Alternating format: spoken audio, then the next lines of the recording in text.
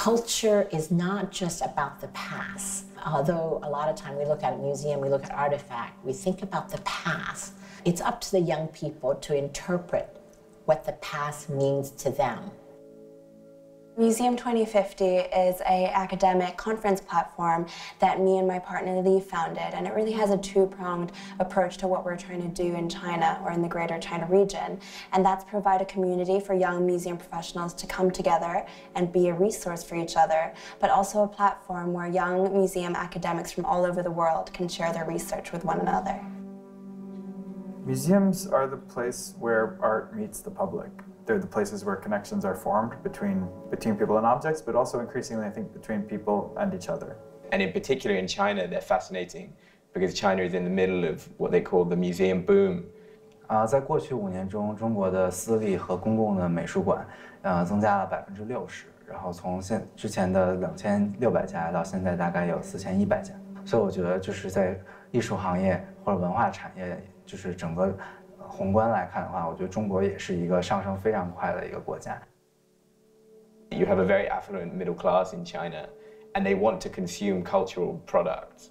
The problem or the interesting challenge in China is people are not socialized into museum going in the same way as they are in the West. So how do museums compete against other cultural spaces that are developing? You can't just take what's done in a Western context and just parachute it in, but they have to adapt.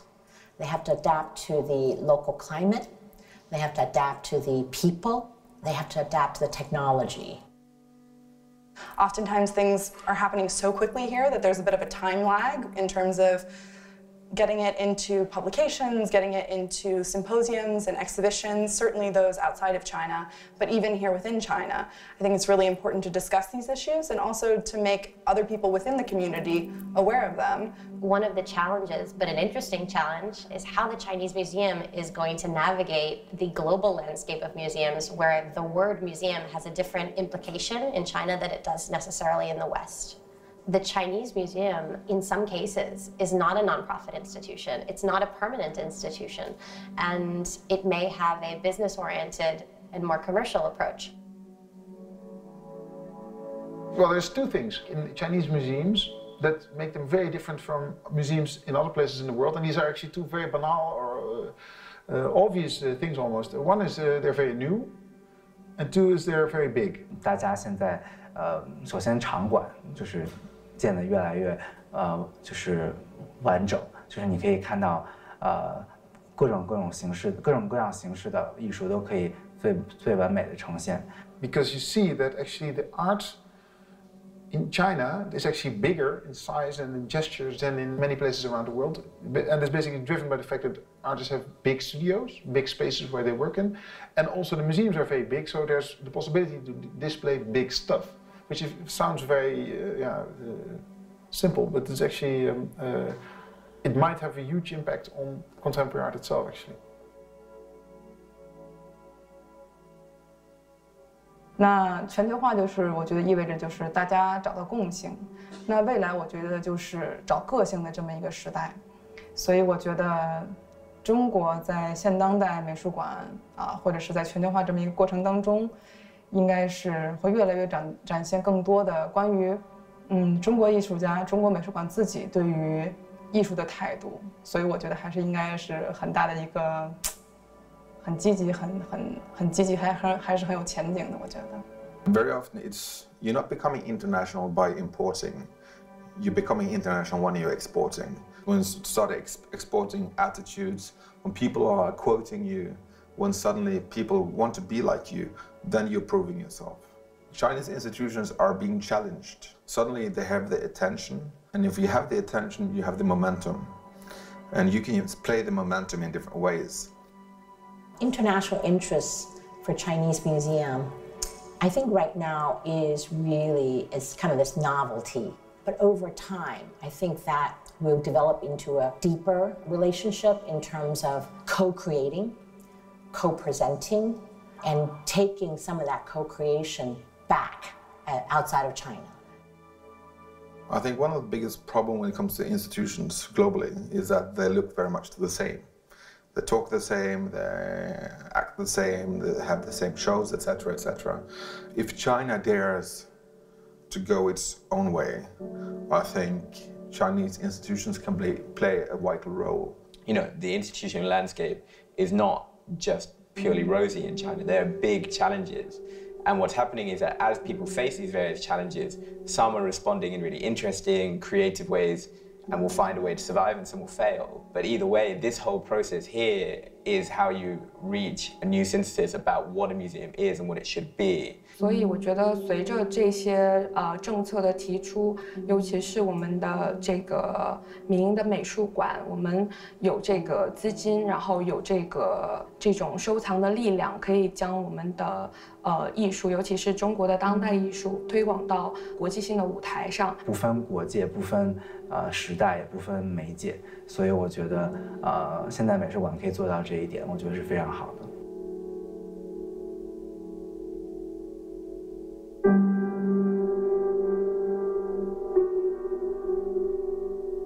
And you know, culture is, if you let it grow, it's almost like a wave.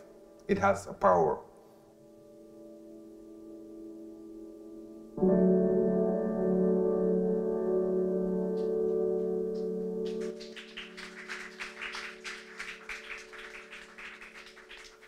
So everyone can hear me. Welcome. Thank you very much, Lee and Nicole, for actually giving us the chance to have this conversation. Thank you, Alice, for giving us also the opportunity to do it here in Hong Kong today.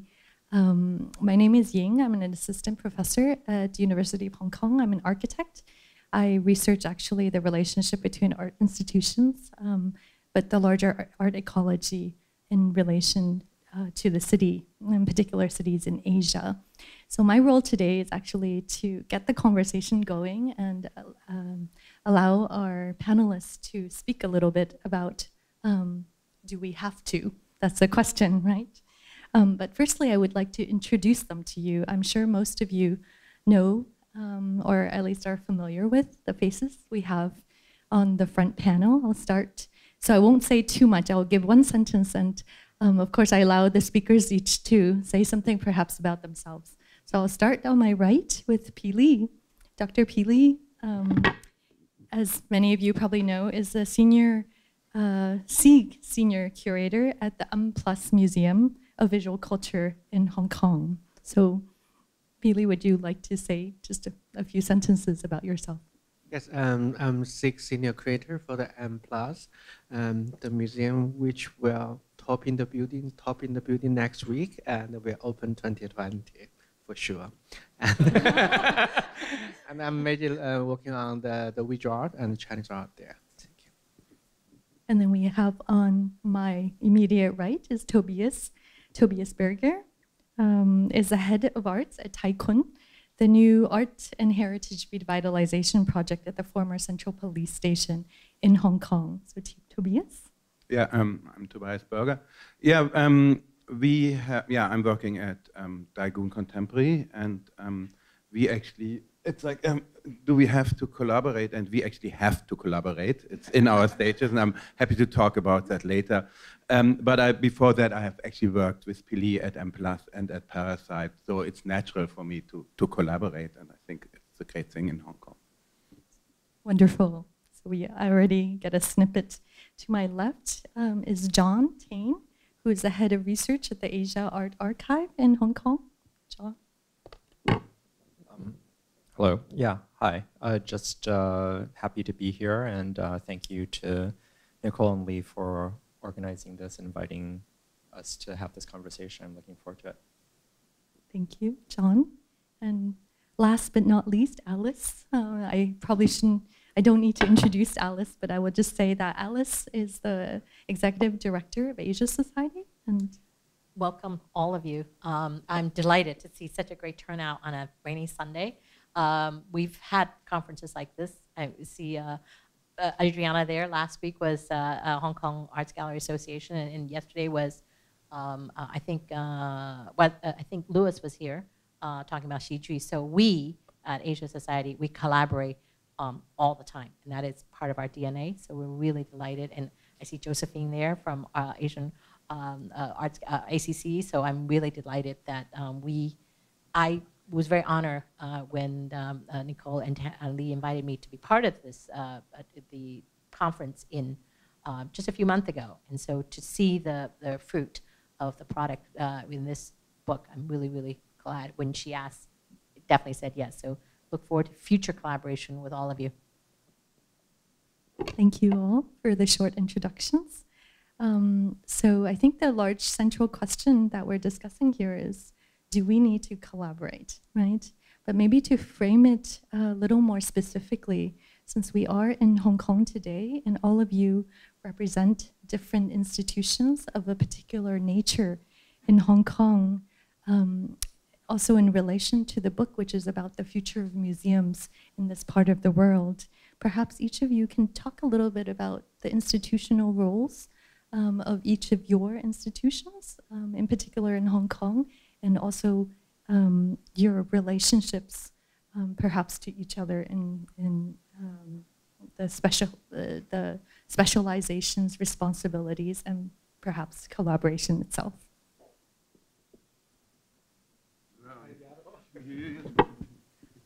Um, okay. Um, I'm working for um, M and uh, as many of you may already know, M uh, is a visual culture museum which will open 2020, 2020. And since two years ago, we have a small space called Art Pavilion, which is right on the, on the side of the West Kowloon Culture Park there. Um, so compare with Asia so, so Society, compare with the Asian Art Archive and the Dai, Dai, Tai Kwun, I think the major differences for M Plus is that we have collection and we are a proper museum with our collection, which cover the visual arts, moving image, architecture, design, public culture. So that's give us a very, give, we, our museums have very special fun, fun function besides of the pro, pro program. Our major work will be like uh, keep and, and the re, re, research on this culture heritage. We keep the history for tomorrow. So that, that's we functional like a contemporary visual culture museum here. Yeah, so yeah, let's start with that. Um, yeah, um, many of you have hopefully visited Tai Kwun by now, and um, we are, from the beginning on, it was clearly said to us from the jockey clubs that we have to collaborate, and that actually most of the programs that are happening at Tai Kwun, the performing art and the heritage and so on, are co-productions with other institutions. Um, for art, it's even a little bit more complicated. We are um, we are operating in a so-called presenter model, which means that every exhibition we are doing, we have to do with another institution. We ourselves, our my curatorial team, is not allowed to curate our own exhibitions. That means that every time we have to invite um, another institution, which can be uh, locally, like Hong Kong, we had Spring Workshop, we had the universities, but can be also from China, like UCC now, or it can be International Museum, is coming to Hong Kong to make an exhibition. However, for me, it is very important that each exhibition is tailor-made for Hong Kong discourse. Um, that means we are not, we are, I always say we are not a pit stop for a traveling exhibition because that makes absolutely no sense, I think. Um, we are, and I think we have also proven now, I mean, the first show was with one was one um, young artist with a, a, university together. One was one with Spring Workshop. Now we have two open calls, two young curator um, organizations as well as UCCA. Um, so we have, we have, and it is a very, I mean, that's why do we have to is kind of provocative for me because it is a lot of work to, to collaborate and a lot of time I'm like, oh my gosh, again. But then there's also a lot of joy and I think our, our program also proves that we can be can be very versatile and can do very different things, which is, I think, quite unusual for a smaller art center like we are.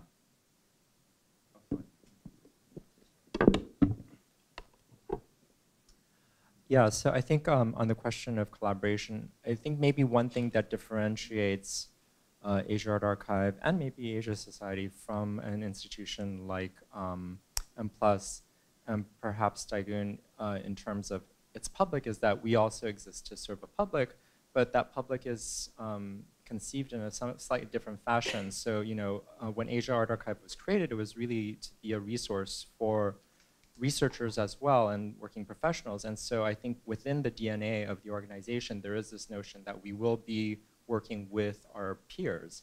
Um, and so I think from the very beginning, Asia Archive has worked with other organizations, you know, both in terms of providing uh, research materials and research um, specialization and consultation, but also just working with them and organizing uh, programs. So I think one of the first uh, conferences they organized, in fact, the very first conferences were collaborations with other museums, so or other organizations, Parasite, um, but also MoMA in New York. So it's kind of you know always been part of what um, AA has done. And just yesterday, um, my colleague Oscar, who's here, um, organized the uh, Wikipedia session that was done with M+. So something that we continue to do. It's interesting. Um, I said we, we love collaborations, but I, thinking back seven years ago when I came back, we were getting ready to open.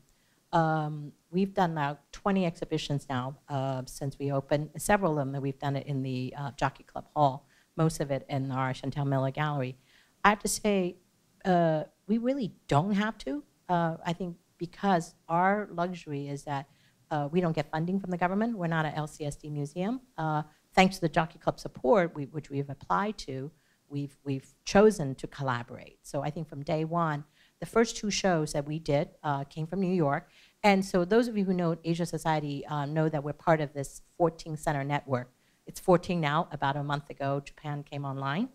Uh, and then, but the idea, my understanding, and because I uh, um, was in New York uh, for nine years before coming back, the idea of this center when we opened was that it, it kind of like the Guggenheim model. That what they want to do was travel. Uh, a show that starts in Asia Society in New York, comes here, goes to Houston. Houston also has a museum space, a gallery space. Uh, Asia Society Museum has a collection uh, the, the, they started with the Rockefeller, wonderful Rockefeller collection. And then in recent years, they've also collected contemporary art. Um, I think under Melissa Chiu, um, uh, for a while their video art was really, and so they have a very nice contemporary Asian art collection. So the idea was that we would, the, the, you know, there would be a committee from all three centers, Houston, Hong Kong, and uh, New York, and the show would travel all three places. Uh, and the Rockefeller, our first exhibition, uh, uh, Buddhism and Art, that came, half of the exhibition came from, uh, half of the collection was the Buddhism from the Rockefeller and um, contemporary art. And that show did really well. But the second show that came from New York totally bombed. It was Indian jewelry, those of you who remember. Uh, that show, Lock, Stock, and Barrel, came from New York. And because it had done very well in New York for seven, uh, in, in the US, they just thought, we have Indians here, gold jewelry, it would do well. and so that's what I said. Don't you can't bring things. Even Asia Society makes mistakes. I think all institutions. So for us, in this seven years, we learn about collaboration. We want to collaborate, and not just with New York or, or all the institutions in, in the West, but also local institutions. That's why, for me, for us, it's really interesting to see the development of local institutions, whether it's in China, or other parts of Asia, because that, to me, to us, is the exciting thing. It's, it's, we don't know what, where it's going to take us. And there are times uh, people ask us, can you do this? And I often said, why not? Our board is very supportive, long as we can find funding for it. So the key for us, it's been funding. Uh, if we can find collaboration to do, uh, to do an exhibition that's really, and so some of the show, going back to what uh, uh Tobias has said, we we have done shows that we collaborate with other, uh, we have co-curated, and my proudest exhibition has been our Breathing Space, um, the Chinese, uh, the Hong Kong Contemporary Art Show that we did last year, and that was curated by our own curatorial team. So we can do, so the, the, beauty of us is we can do anything we want, short of, uh, short of money. So that's a great lead into my actually second question because we have a panel um, of experts actually who have come to Hong Kong from all over, literally. Um, uh, I think amongst us we have a few languages going. So perhaps each of you can talk a little bit about um, the role of knowledge, knowledge exchange in itself um, in the collaborative nature. Um, I think Alice already spoke a little bit about kind of this transplantation, um, especially in terms of Asia society as a body here in relation. But perhaps um, Lee and uh, Tobias and also John, from where you have worked um, and have had experience, you can talk a little bit about that.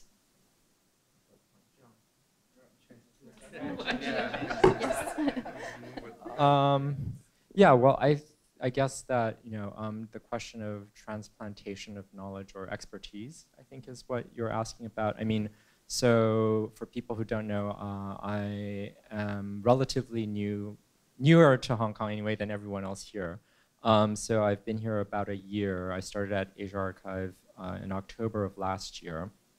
And um, I, can, I come to Hong Kong from uh, Los Angeles, where I had been a curator at the Getty Research Institute. And part of why I came here was because I had had that professional history at the uh, GRI, but also I think was really excited to by the opportunity of working here. And I think it was kind of um, part of uh, the experience of working at Asia Archive is bringing the experience that I have had working within a much larger organization. The Getty as a whole employs 1,500 people, thereabouts somewhere.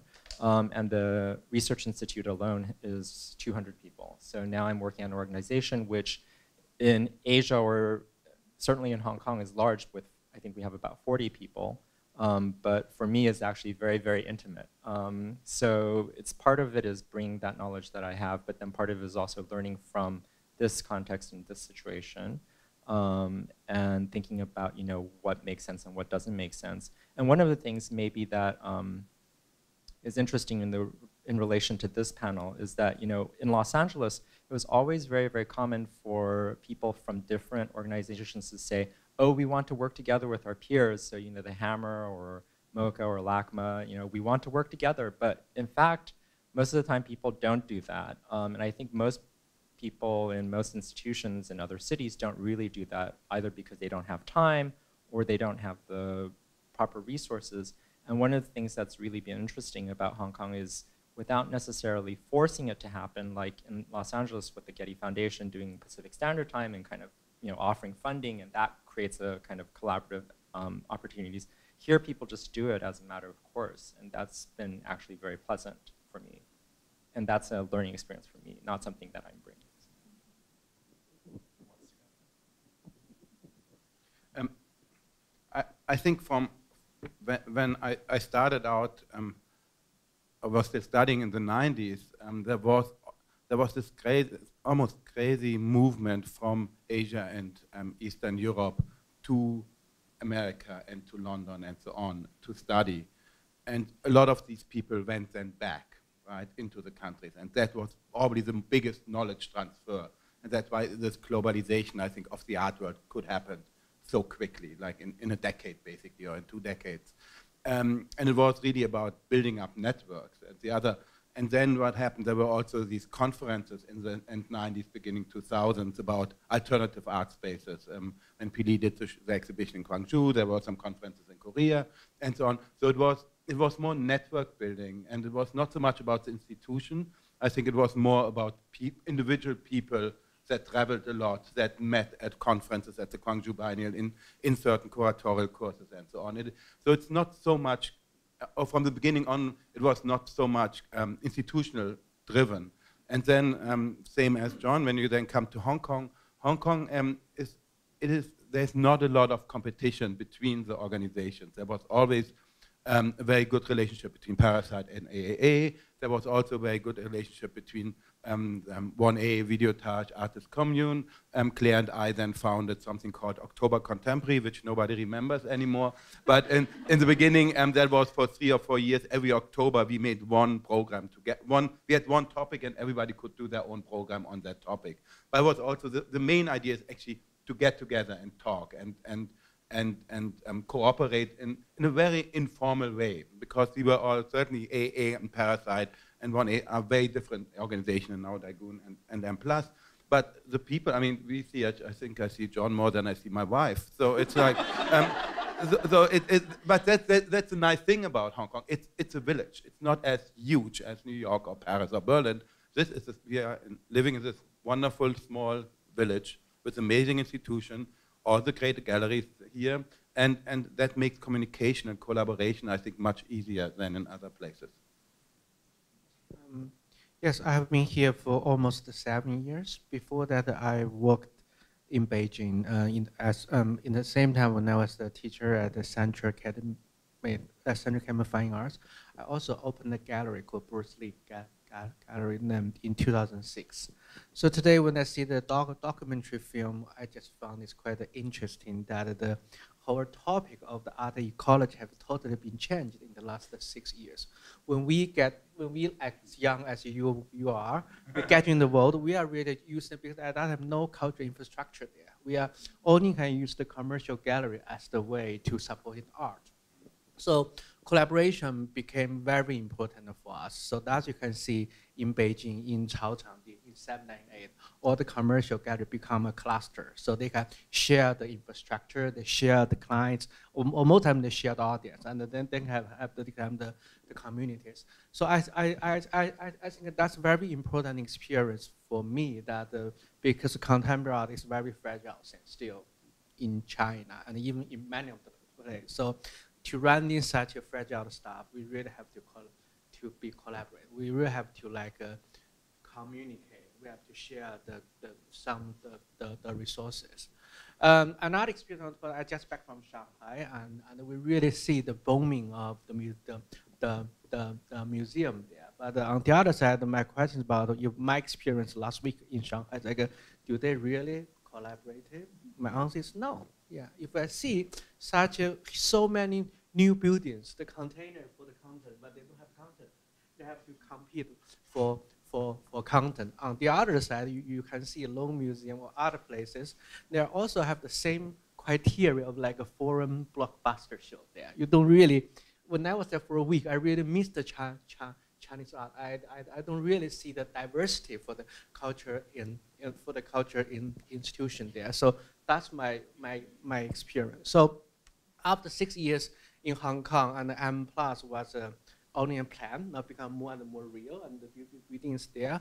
So that's also a great experience for us. And I, I, I think, shall we collaboration? Shall we do collaboration? The answer is yes, but it, it's about how. I think each institution has to keep their uh, identity. But on the other side, when we talk about the co collaboration, the competition are, are still there. Competition make us more strong.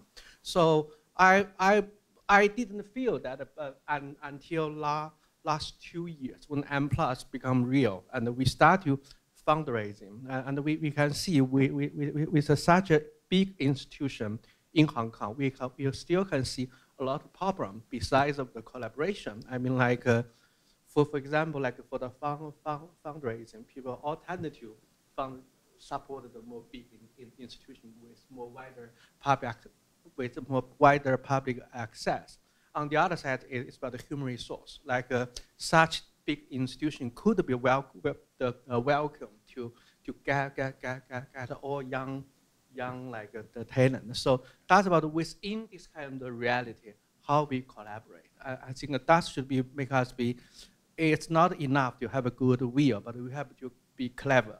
Yeah, thank you. No, I think that that's really the idea of capacity building, which means um, educating professional profession, people, professional educators, professional conservators, professional art historians. It, that's really what's missing. I mean, we, we founded actually for that what we call a summer academy, where every year we get 20 people together for something like a post-grad um, workshop, two weeks.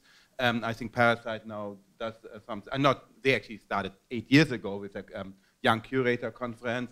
Um, but there's so much. I mean, there's so much to work on, on, on exactly that, on educating people um, to get that. You know, so they don't only have whatever, an, an, you know, a one-year course at one of the auction houses, but to kind of, you know, have a really good education.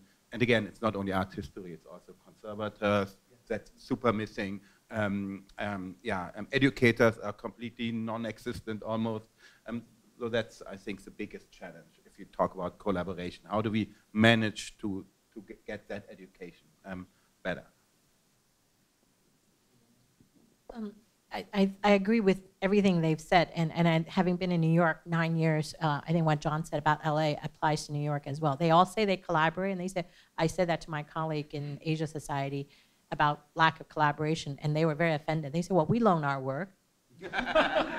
You know, I mean, because of Rockefeller collection. He said, we loan it, we collaborate. So it depends on what you mean by collaboration. I mean, so there is in LA uh, and, and New York, there's collaboration. But here, what I'm interested in is how do we, you know, what's really exciting to me is uh, I've also been back now seven years, and I was in New York nine years and 11 years in previous that in Hong Kong. Back then, there wasn't even really that many, uh, and I think uh, Adriana can say that there was no, how many galleries were there in Hong Kong in the 90s, right? And, uh, and I think Kevin might be able to answer that. So, so I think if you look at the history, just in 20 years, just in the last 10 years, since Pi Li and I have been back seven years, the whole ecology of Hong Kong uh, in terms of art, um, art management, art collection, art and culture has just grown. And I think part of it is, is Art Basel, part of it is also anticipation with, uh, you know, uh, West Kowloon M plus. So the exciting part about it, we haven't, we can write the book now on how we collaborate. Uh, we don't have to, and go back to the video I said, we don't have to follow New York or LA or Beijing or Shanghai's um, uh, idea of collaboration. Um, I look how young some of you are in here, and you guys now are collaborating all the time with technology. So that to me is the exciting part about Asia Society Hong Kong now. Uh, and, and one of the challenge I also have to echo is, for us, it, it is definitely financial. I mean, there is competition. Uh, but the thing is, people are going to give, Uli is going to give Uli's a part of our Swiss Center, right? So you can't, the, the, the way I look at it is you, you, you can't control who your uh, donor want to give. So you have to inspire them to be part of your um, network. But then by working with them, they have also introduced us to institutions that are not in Hong Kong, uh, maybe in Europe, maybe in Japan. So, so for us right now, I feel Hong Kong can be the, we can rewrite the rules on collaboration for Asia. Uh, and then, because we don't have the, the baggage of some of the other cities, you know, whether it's Europe. So, but the human resource aspect, I also want and that's another reason I was so excited when Nicole, uh, because it's from the young people's perspective about how do you work in the museum field for the future. Uh, and so if we can help now and start growing. Because right now, our colleagues are being poached left and right. I have a colleague working in Kwun, former colleague. I have a one. No, no, no, no, no, no. But but still, I don't. I, no, no. I, I just know. No, I'm excited. I know exactly where all my colleagues went. One is at Art Basel. One is over at at, at West Kowloon. Uh, and I think we have like we all have. Again, going back to the donor. yeah, one left you to come join us. Um, but, but I think part of it is how do you inspire them, going back to the donor, how do you inspire them to give, uh, give their time and resources, but also how do you inspire them to stay and, and also help them pipeline the field? How many of you are going to be in this field um, in 20, 10 or 20 years? Um, you know, uh, and, and some of us have been here longer. I'm not in the museum, I'm not in the art world. I love museums. Um, I stumble onto museum world. So, so, so that's the key to me right now is how do we do this new form of collaboration and, attracting our donors with our program and also attracting talent to stay with us. And if they don't stay with us, how do you train them for the next, you know, for Asia, uh, or Asia and globally? Because right now, having also seen it in New York, and you're here, like, where are the Asian curator? And they're coming up, but only just coming up right? So, so that to me, going back to the, the other way, it's here, but also they need to go back and curate shows that are blockbusters, and hopefully that's, that's where I see the, the, the future. I think that actually is um, a very good point, which is that you know not only Hong Kong but Asia more generally, I think is very young in terms of this field, and there's a lot of things that still can be worked out and developed. And really, the education is not just among the professionals, but also among the public even, kind of, you know, yeah, who, who are the publics and how do we reach out to them? I think that's part of the thing that all of us kind of confront and have to, do have to, I think, and only makes sense to collaborate on in terms of working that.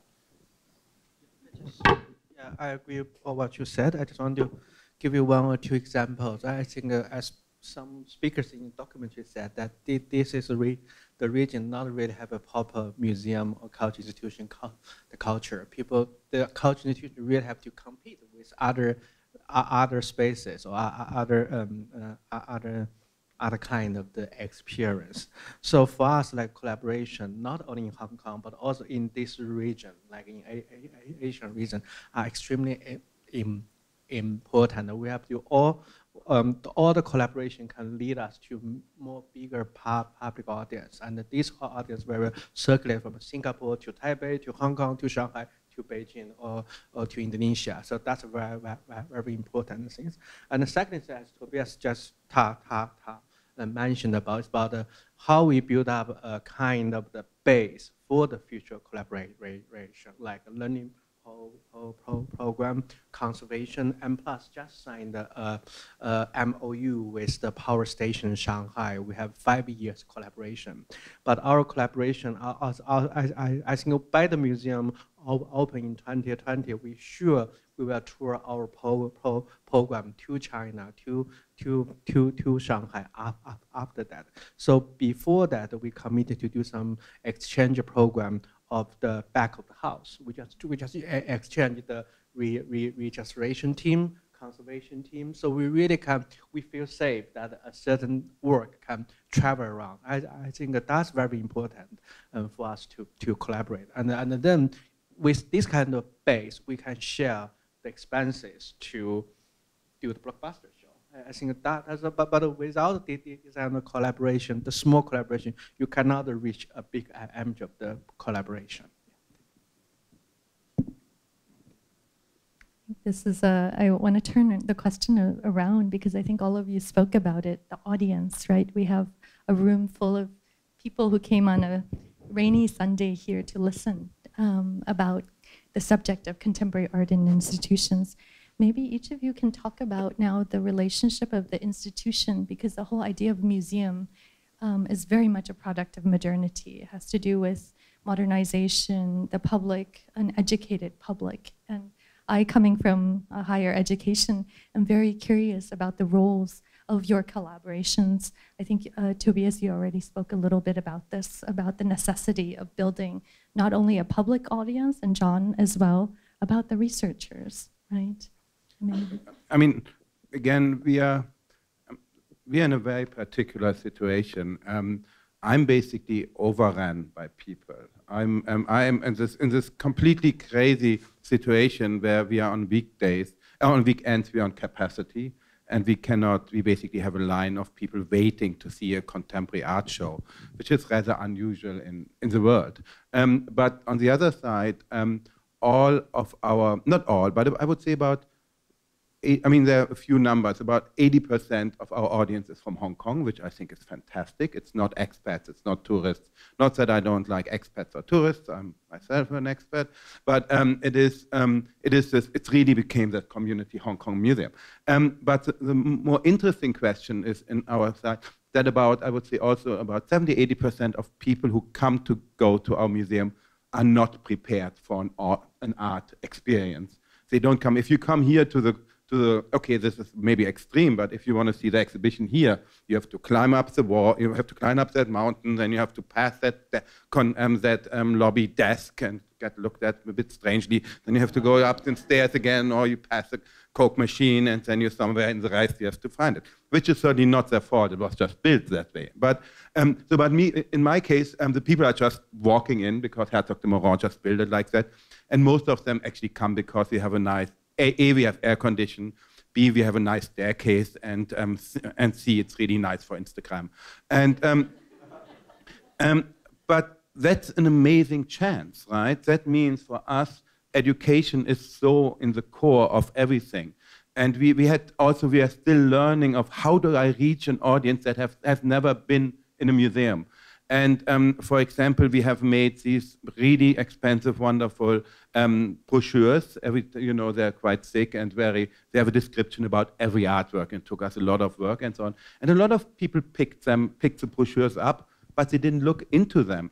And I asked myself, why is that? And the reality is that most of the people who have never been in a museum don't know that art needs explanation or can have an explanation. We all know that, and for us, it's the most normal thing in the world to pick up, to look at the label and so on. So we now are doing wall text, which works much better, and wall texts are much easier written than the brochures and so on.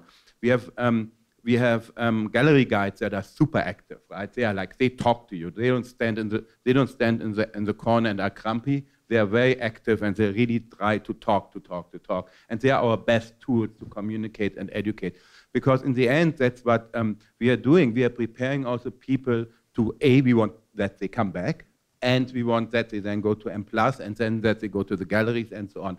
We are really the entrance the entrance because of this attractive Tai Kwun around us, um, because of, yeah, again, different reasons. And I think that's my, one of my, my main challenges really to educate people for, to, to appreciate contemporary art. And, um, and this is, uh, we knew it a little bit before that could happen, but not with these numbers. And I'm, I'm quite happy that it works.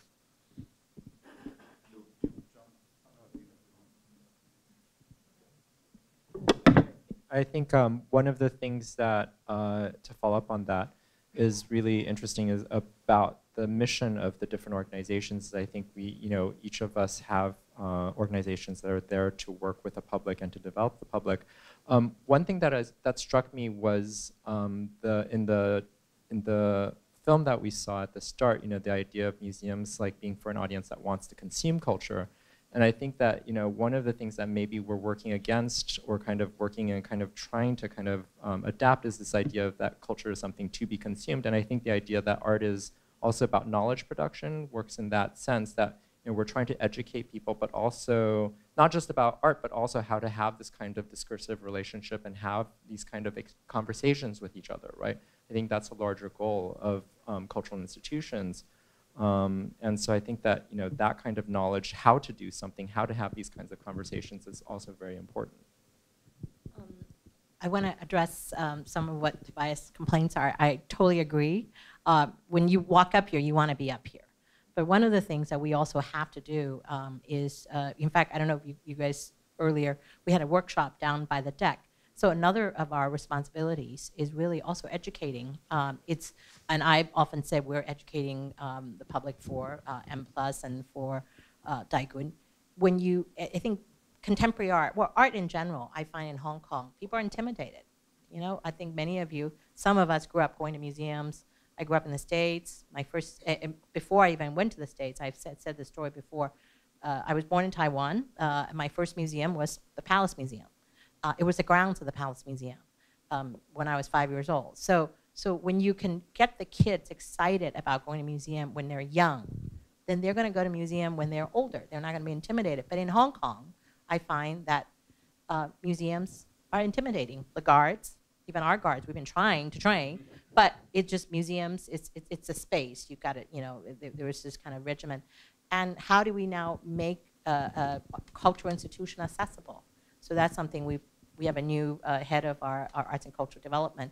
And how do we make the institution, it's not just about the art. And it's also no longer just about the art hanging on the wall. Is we also now currently have an augmented reality exhibition uh, that it's outside. And we're seeing a lot of young kids, families here using their uh, phones or, or, or, or gadgets. So, so that's another thing we as an institution has to um, think about is not just the art on the wall, but also the educational, uh, make it into context. How do you make sure that people, this, this generation of Hong Kong kids, uh, I don't think that's a problem in China, right? Because the institution is so new, you, they run around in museums.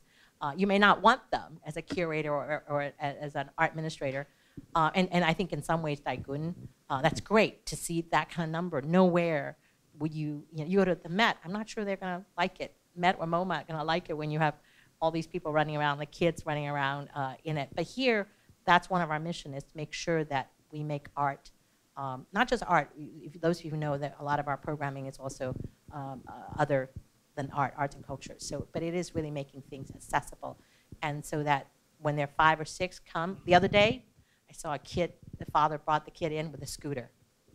I loved it. You, you, we have a wonderful roof garden. That kid can run around in a scooter As long as she doesn't hurt anyone or hurt herself, I'm fine with that. Yes, and uh, yeah, I totally agree. And I think like uh, to education, to educate the, the, the audience and to enlarge the audience very crucial. That, that, that, that's like a major collaborative uh, collaboration for among the, all the institutions here. But maybe I can play a devil a little, little, little bit. We're talking about the, the audience, we had the, the education, but uh, soon after we have another issue about how much museum should charge. And uh, that's very important. I think uh, with long, as long as M, M Plus open, we have uh, 16,000 square meters for the exhibition. Among them, two thirds will open uh, we'll show our collection there. Another one third, we are doing the um, temporary show. So how much shall we charge? Uh, for, for sure, the collection we will not charge. I, I think that that's more like a, that's the taxpayers' money. We cannot charge again for the taxpayer to see the work. But, oh, but it's about how much we, we should charge. If you want to make a big, nice blockbuster show, you have to invest money there. But if we see, I noted that six years ago when Andy Warhol show here, they have, have like a 200,000 uh, 200, audience there, and they charge around, I don't remember, 40 or 50 at the Warhol show at the Hong Kong Museum of Art. Yeah. Okay, okay. So I will give it to you first. So my question about if you only like most of the at the, the public museum here, if you only charge like 20 Hong, Hong Kong dollar, 50 Hong Kong dollar, dollar 10? Oh? 10 yeah, that's, that, that's really non-sustainable way. The $10 only function for $10 is to refuse the domestic helper to come into the, the, the, the museum. If you really want to give a nice show for the community here, you have to charge. You have to charge like around 200. But is this part, part, part possible? Will that be some way for our institution can collaborate? I, I mean, I, I, just, I mean, we saw the wonderful Long Museum here, and um, and the Long Museum is charging 250, 200 RMB, which I think is perverse. I'm sorry to have a public museum. Not, it's it's a private it's a private museum, but still, you know, I mean. 250 RMB in China is like 500 RMB in Hong Kong, and that is just uh, like 500. It's a lot of money, and I think it's too much money, and I totally think it's it's totally over the top. Hong Kong, we have unfortunately, and I had a huge fight with the jockey clubs the last three months, so I know every, I know every entrance fee in this town. Hong Kong, Hong Kong has never charged, Hong Kong has never charged for a contemporary or modern art exhibition higher than 10 or 20, uh, um, 10 or 20 um, Hong Kong dollars. These 10 or 20 Hong Kong dollars are only the normal charges the museums take the reason for that is because the Jockey Club, which I work for and who pays my bills, um, is, is supporting all the big exhibitions, and the Jockey Club insists on a non-charging um, policy, which makes my life, because I have a big blockbuster coming up, and that's why I had that big fight, um, no, made it almost impossible um, to charge. We now decided actually on a charging model, but it's I couldn't go higher than 50 Hong Kong dollars, which is ridiculous for a blockbuster, which should be hundred dollars, and it, and it makes again it makes um, it makes um, M Plus's life really difficult talking about com um, communication because why do I charge whatever um, sixty dollar for a big big blockbuster? How can they then argue we want 250, uh, 200 or 150 dollars? So that's also about talking about co collaboration. I'm completely for museums and collections and so on have to be free and I only have these amazing numbers, certainly because I'm free. The minute you charge even $10, you lose 50% of your audience. It's very, it doesn't matter if you charge 10 or 100, you lose 50%. Um, but talking about collaboration again, we, we also, in most countries, you have a museum pass, which you, you get in. Um, we, don't, we are not there yet because I don't think we ever get there with LCSD. Um, and so the, the structures in Hong Kong are quite quite unique also, right? Well, with with Jockey Club, LCSD. But I think, uh, to be honest, we could charge um, yeah. because in our agreement with the government, we could charge, um, but we choose not to whenever there is a sponsorship. And and I'm I'm of two minds about this. As a art consumer, um, I think you should charge. If you don't charge, you cheapen. Why shouldn't art? I mean, you go to the Met they charge. And even now, the, some of the debates we're talking about, the Met has just changed their rules recently. Uh, as of, of March this year, if you're if you have a Hong, uh, ID card, New York ID card, you don't uh, you don't pay, and students you don't pay, and but then out of state you pay. So so there are ways. So this is something that I think because of China, like again, uh, you're right. There is no uniformity about what you know, private museum, public museum. So I think we this is things that we also have to look at the local audience if they're not used to paying. Um, you know, so it, it, it's supply and demand. So those there's no clear-cut answers, but we we choose not to charge uh, uh, for for our shows, thanks to Jockey Club and others. But there are times we have to charge, uh, and then but then there's also creative ways to make money uh, thanks to Mr. Nara, uh, Yoshitomo Nara, he knew we had a problem. Uh, we, I think we, we could not charge because Jockey Club, Jockey Club paid for it. And, but Jockey Club also has sometimes have really interesting rules about uh, marketing. Um, they were going to deduct from our the budget they gave us, and so like we have no dollar for for for marketing. But Nara-san, I love that guy. Designed a set of plates for us, and those of you knows that the place now is auctioning people are buying that. Uh, you know, he designed it for us to help us do some fundraising that way. So there are creative ways to address that question. And Hong Kong is very commercial. So is China, right? Designing, and, and, and I also see it in Taiwan. So there are ways to address that issue about charge or not to charge. But ultimately, I want you guys to know it costs money to put together a show. And if we don't get a sponsor, and we don't sell the products, and if we don't, uh, we can't put together a show. And, and we don't make money. I, am sure all of us agree. And, but this is different in China, though. People open private museums. They see museum as a commercial enterprise. And even U.S., you now have the Spy Museum. Uh, there are a lot of museum shows that are commercial. I think the Harry Potter shows makes a lot of money. I was in the States recently, in New York. They had the Downton Abbey show. I paid $35 $35 to go see a Downton Abbey. It's a commercial show, right? So, so I think there are different models of it, and we have to figure out, according to our institution and according to our ecology, to see to charge or not to charge. I think that's a great um, kind of segue into the book a bit because here in Hong Kong in 2018, we're hearing LCSD, Jockey Club, West Kowloon, right? I mean, this is floating in the background. And for an audience who may not be familiar with Hong Kong, what are we talking about, right? We are talking about kind of the institutional frameworks of the political economy in particular. So we know that since 2000s, creative industries has been the hot topic. Since Richard Florida, an economist, wrote a book about the creative class, creative industries was a huge thing. Even in Hong Kong, it came here um, around 2008. So perhaps each of you can talk now a little bit, um, we're going bigger and bigger, um, about the particular institutional frameworks that support your institutions in Hong Kong. Um, we also mentioned private versus public, um, not only in terms of the audience, but in terms of um, the funding, right? So in particular, for example, Pi Li, you've worked actively in Beijing. The institutional frameworks are extremely different in China. Um, in the other countries, the US, for example, or in Korea, where uh, Tobias, you have been, can you speak a little bit perhaps to, because this is something that really is very much part of the book about the museums, the future of museums in China, and for about one point, I don't know how many billion people, this is coming, right? So how, how do the local um, institutional frameworks support, um, I guess, uh, condone, uh, frame your collaborations and also your unique institutions? In Hong Kong, we heard about West Kowloon, for example, Jockey Club, um, the AAA.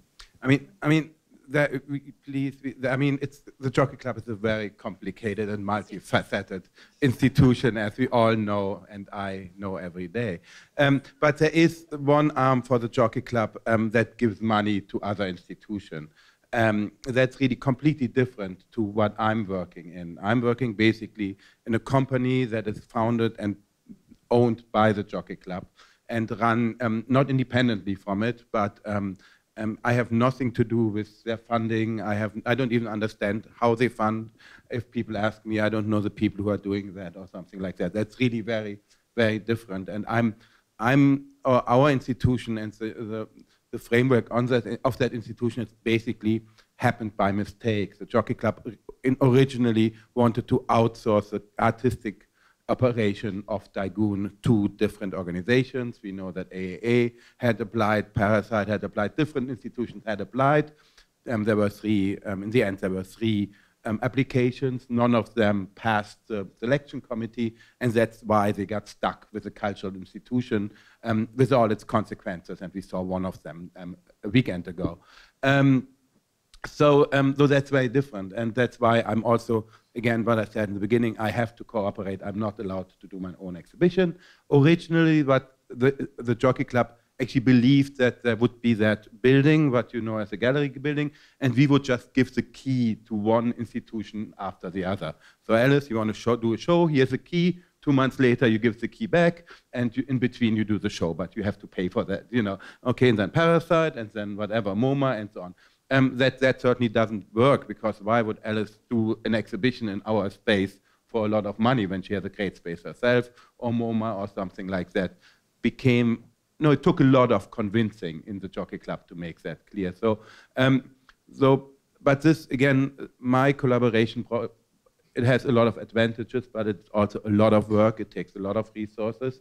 Um, we are very lucky with resources, um, so it's, this is not the main um, problem. But um, what we do enjoy is that if, if M Plus or AA uh, or now just Parasite last three days come in and use our facilities, and um, to you, you know, to do something. Or when, like last week, um, people came to um, Asia Society and so on. And I think that's a great thing that we share resources, that we share. In, in New York, the new museum would never go to MoMA and say, can we use your auditorium, right? Or it would, it would just not happen. But here it's completely okay for me as Tai Kwun Contemporary to give, um, to give other people our, our spaces, and it's great for Alice.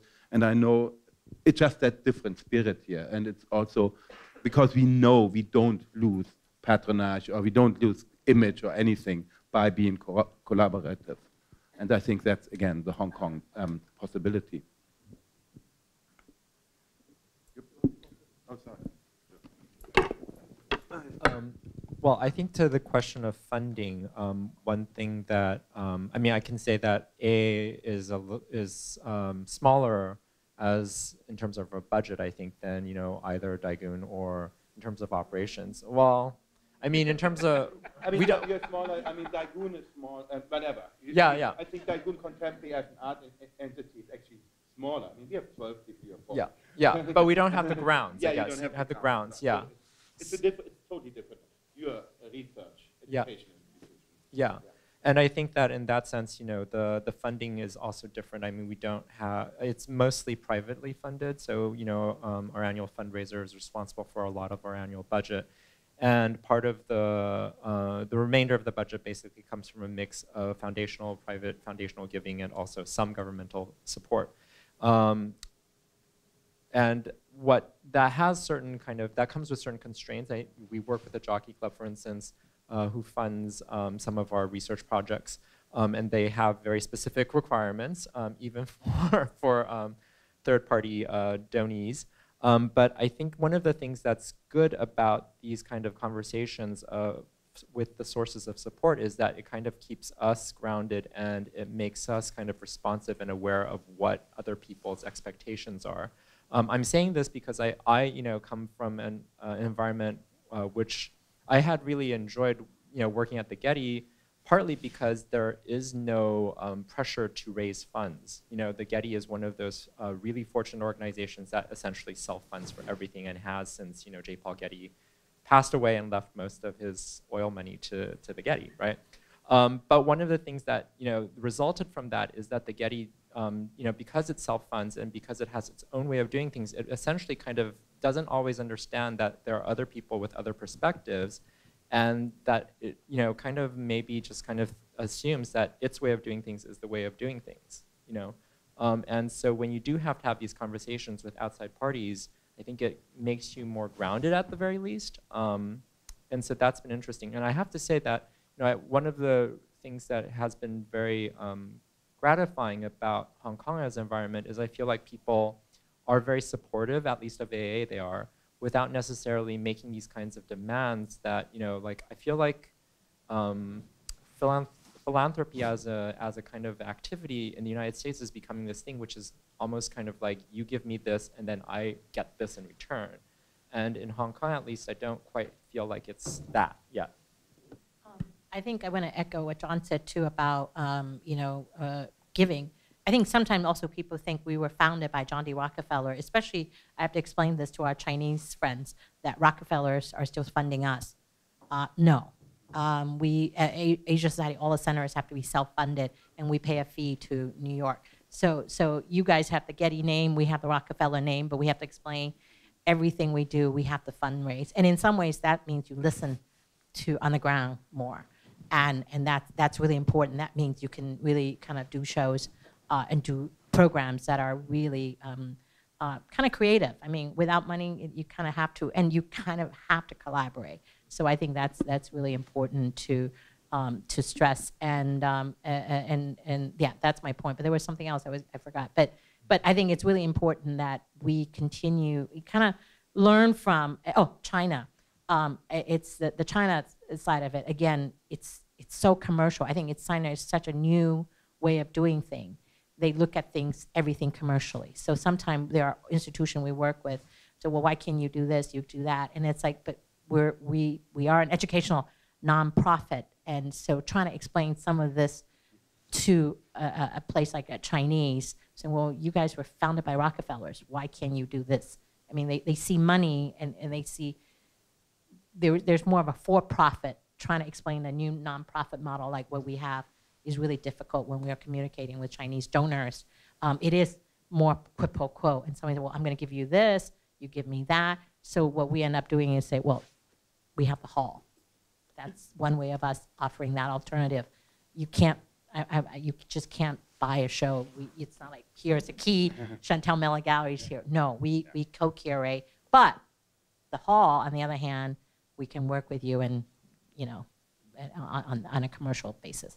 I, I want to just also bring it down again. I mean, we also should not forget that um, both most of uh, two of the most important institutions in Hong Kong, AA and Parasite, are mainly supported by artists that give works for the daily auctions. Also, that M Plus got a lot, a lot of donations from the local artists and so on. I mean, it's not they had a budget, and I can say it now because I'm not in there anymore.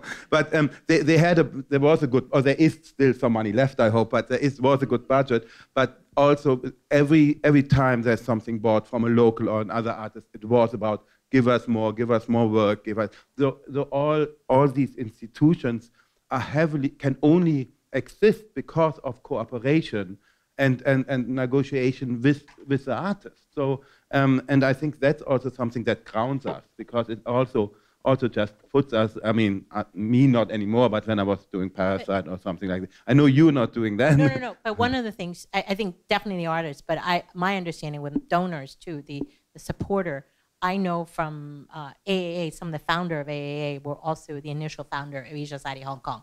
So you, you have that ecosystem of of, of donors, artists, um, wanting to see an institution. So to be honest with you, if I had my dream, I know um, some of the donor had this thought, I would have loved the AAA and Asia Society. In fact, I think somebody had mentioned that if we had the foresight, you know, some of the same uh, supporter of AAA and Asia Society, why can't we be together in the same roof? Yeah. At Tai Kwun, maybe. No way, just I know we're just out of time. Just be very short. I think talking about the collaboration. I think first of all, people should remember that uh, there's still two floors in M Plus buildings, which in future will open to the local institution to come come into one. second, our cinema. Our we have three cinemas, which we are seeking. We are we are widely collaborated with the local uh, movement and other uh, the institutions. That that's two. Talking about the fundraising, and, and we still have a lot of we still have a, a, a bit acquisition budget there, but still have to fund the rate. Same like Asia saw so society. We are looking for the do- donation of the work. We are looking for the up the money the, the, the money donation for our acquisition. We also now building our American friends fund fund fund. Foundation, which American citizen can donate to us, and we can get a tax refund based on the Article 55, 501B. So that's like we are still. I, I, I, I, think we are in a position to fundraising, but I also agree that some of our patrons that are in the same time the pay patrons for AAA and the pay patrons for the Asia so, Society. So any communication with these pay patrons will benefit all the institutions in this re- region. Great, thank you very, very much. It was a very exciting talk. You we got, everyone got very excited at the end, so um, we have to continue the conversation, of course, in uh, next year. And um, w- would you like to say a final word? Um, just to wrap up real quick, thank you again for participating. Thank you so much to our panelists. Um, and we're really excited to announce that our next um, kind of symposium and conference, our next edition, will take place in Chengdu next year at the Zhi Art Museum. So definitely go on our website and keep updated for that. And we'll be really excited to see you all there. Thank you very much for coming. And also, books outside if you'd like to pick up a copy. Yeah, Thank you.